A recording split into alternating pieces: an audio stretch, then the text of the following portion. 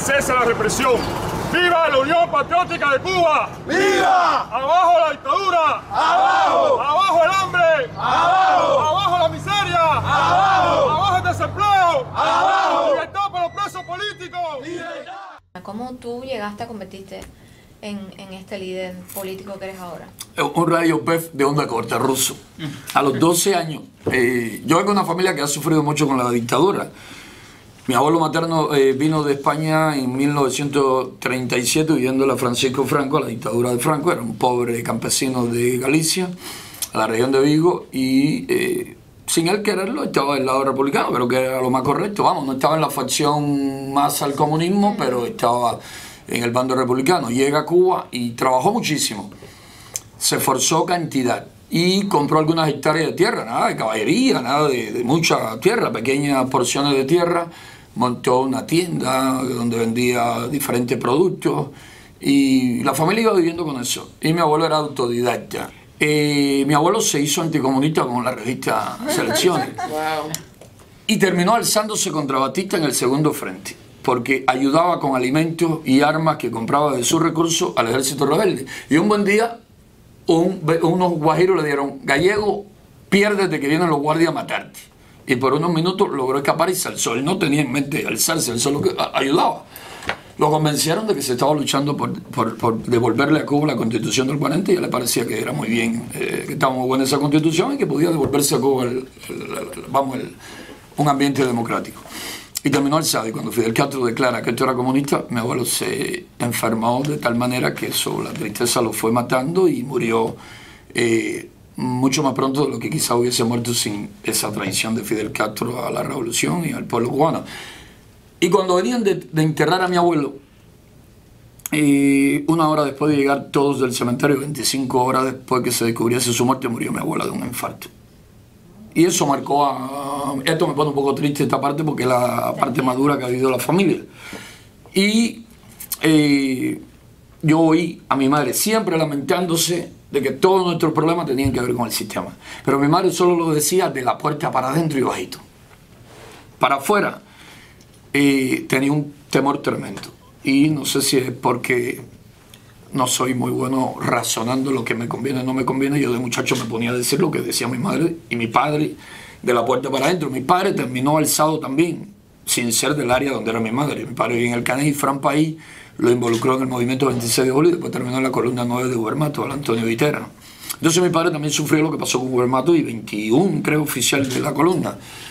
Y entonces el discurso era constante en contra del régimen, de la puerta para adentro, de la puerta para adentro, para afuera no. Y yo era el que lo transmitía al niño, yo era el que decía de la puerta para afuera lo que yo decía de la puerta para adentro. Y a cada rato estaba en tremendo lío y en varias ocasiones amenazaron que me iban a mandar por una prisión de menores. Y entonces mi padre con una habilidad histriónica tremenda, me echaban una descarga en público tremenda. Yo no sé de dónde este muchacho saca esa cosa, yo no sé. Y se comprometían que yo no iba a volverlo a decir. Pasaba un tiempo que verdad que no lo decía, pero de momento me salía algo. Y a los 12 años, eh, ya desde los 12 años, empecé a cambiar. Mi madre no quería porque decía que le iba a romper el radio y no iba a poder oír la novela en los radios BEF hay que tener buena fuerza física para cambiarlo de banda, ¿no?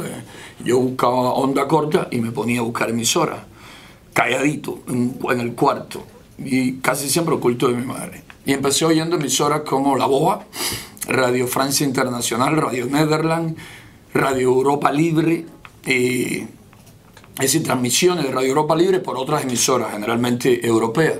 Y empecé a conocer un poco de política. Y no sé, algo me dijo, oye, qué interesante es esto, esto es lo que más te gusta, tío José Daniel. Así que hoy Radio de Onda Corta. Luego vino en el 85 Radio Martí y yo creo que a los 5 o 6 días de estar saliendo al aire yo lo descubrí. Yo no sabía que había salido, de momento vi aquello.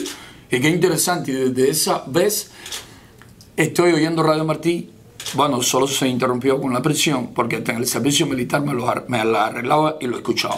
Entonces eso me fue formando en lo político, las revistas, los libros. Luego fui conociendo ya de joven a personas en Palma Soriano, que era mi pueblo más cercano, yo nací y me crié en el campo, que tenían muchos libros ocultos que el régimen había eliminado hasta donde pudo.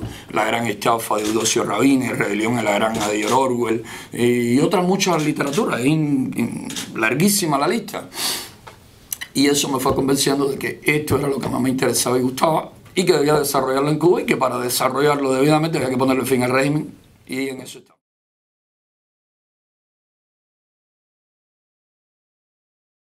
Última evaluación ¿no? de la cantidad de activistas que teníamos en Cuba, desde los que están en la vanguardia, enfrentándose a la represión constantemente, hasta los que realizan labores ya más discretas y muchas veces anónimas, estamos hablando de 3.100, 3.200.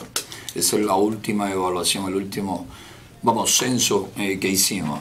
La mayoría está en la provincia de Santiago de Cuba, donde tenemos más de 1.200 activistas. En este momento Santiago de Cuba posiblemente esté entre los 1.400 y 1.500 porque el crecimiento mayor también ocurre en Santiago de Cuba.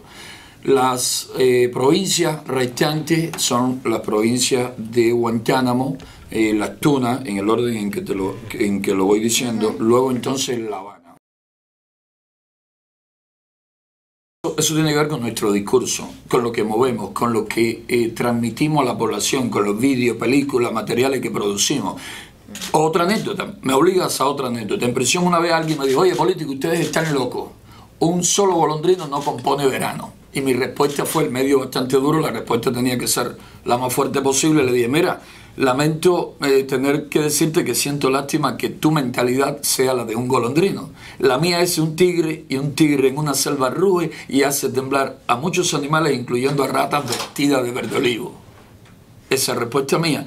Por ejemplo, es lo que primero motivaba risa entre todos los presos y segundo, les tocaba muy de cerca. Nadie quiere, es decir, a nadie que le demuestre que está asumiendo una postura cobarde, indigna, cuando se lo pone claro delante de él, cuando se ve en ese espejo, hace algo por salirse de esa posición. Pero mientras todo el mundo le está diciendo, eso es lo mejor, vivir tranquilo, callado, aguantando, sumiso, pues se convierte eso en moda. Nosotros tratamos de cambiar la moda, de someterse dócilmente por la moda de rebelarse dignamente labor valiente en la calle. Segundo, el trabajo constante en lo social. El ancianito no tiene que comer, hay que identificar quiénes son las personas con mayores problemas en nuestros barrios. Y hay que demostrar, primero porque debe ser una cuestión humanitaria, que debe estar en la mente, en el corazón de nuestra gente. Y segundo, es una labor también política con la que le decimos a esos vecinos. El régimen que dijo que vino o que tomó el poder para venir a beneficiar a los más humildes, precisamente ha convertido a personas eh, es decir, ha hecho, ha fabricado el mayor número de humildes, de miserables en Cuba. Alguien dijo en la ex Unión Soviética, los soviets quieren tanto a los pobres que los fabrican por montones, ¿no? Esa es una triste realidad. Entonces le estamos demostrando a los vecinos, incluso eso ha influido tanto sobre la misma fuerza represiva, que cuando han, le han ordenado atacar una actividad infantil y robarse los juguetes, los caramelos, los dulces de los niños, varios han dicho, pero eso es lo que hay que hacer, pero porque tiene eso de malo testimonios de, esa, de cómo se han sentido de mal ante esas órdenes que le obligan a interrumpir una actividad infantil. Entonces, activismo firme y valiente, activismo social y divulgación inteligente. Porque si hace lo primero y no hace lo segundo y lo tercero, de poco nos sirve. Si hace lo segundo y lo tercero, pero no hace lo primero, o si intenta lo segundo y lo tercero y no hace lo primero, el régimen no te lo va a dejar hacer porque con dos guardias te paraliza el barrio. Cuando hemos tenido actividades en plena calle, nos rodean todo el barrio y nos pasan con las patrullas en, actitud de intimidar y la gente, los vecinos hasta le chifla, se burla de ellos porque les van perdiendo el miedo. Un pueblo que durante tantos años eh, solo ha recibido la información que su opresor quiere que le llegue, no puede ver las cosas como lo puede ver una persona libre de acá de Miami, que puede leer cuantos periódicos quiera y ver cuánta televisión le parezca. Allí las personas tienen una concepción del mundo y de, Cuba misma eh, muy diferente a la que pueda tener cualquier persona en el mundo libre. En La Habana es donde más personas informadas hay porque hay muchísimas personas que ven Mega TV, América TV, Univisión, eh, Telemundo, por las antenas estas, los cables estos ilegales. El resto de La Habana, del fuera de La Habana, eso no se ve. Por eso nuestra intención de siempre estar multiplicando la cantidad de discos que repartimos a la población. Pero, en honor a la verdad, hay lugares como Santiago de Cuba, Palma Soriano, donde la gente está tan más informada que en La Habana porque eh, tenemos más discos en manos de la población toda la semana que la cantidad de personas que pueden ver televisión satelital o televisión por cable en La, en la Habana. Eh, hay mucho que hacer en ese campo porque no puedo evaluar el porciento como se puede evaluar aquí con una buena pizarra electrónica de personas a que le llega eso. Sabemos, podemos eh, evaluar la cantidad de personas que informamos nosotros principalmente en el Oriente.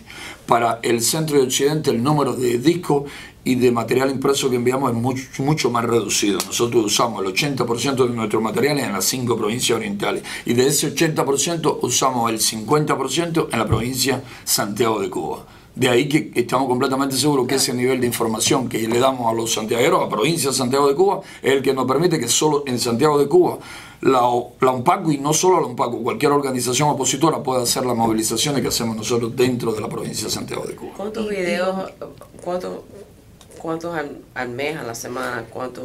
Eso depende de la cantidad que nos lleguen desde acá o de la cantidad de donaciones o recursos que tengamos, pero hemos mantenido meses con 10.000 discos reproducidos. Hemos bajado en muchas ocasiones a 8.000, 7.000, 5.000, pero nunca hemos producido menos de 3.000 o 4.000 al mes, que es un, un número aún muy bajo para una población de más de 10 millones de habitantes, no por toda la isla. Eh, hay momentos en que incluso hemos recibido muchísimos discos con la programación de TV Martí, más lo que nosotros vamos comprando constantemente y los unimos o los repartimos a la misma vez, los dos discos juntos, la programación de TV Martí, para que tenga dos o tres materiales nuestros, pero tiene mucha información de otras organizaciones o de cuestiones acá del exilio que nos parece que es muy importante que la población lo reciba. ¿Y el nuevo Herald cómo, cómo circula? el, nuevo Herald tiene varias eh, vías de llegarle a mucha gente. Una es que los, eh, la Embajada de Estados Unidos hace un compendio de información de varios medios y siempre hay información del nuevo Herald, de Diario de Cuba, de 14 y medio, de Martín Noticias y de otras agencias. La intención fundamental a la hora de informar a la población es de decirle que hay derechos y libertades fundamentales sin los cuales ninguna persona puede alcanzar verdaderamente la felicidad, no pueden hacer su proyecto de vida, no pueden vivir con dignidad.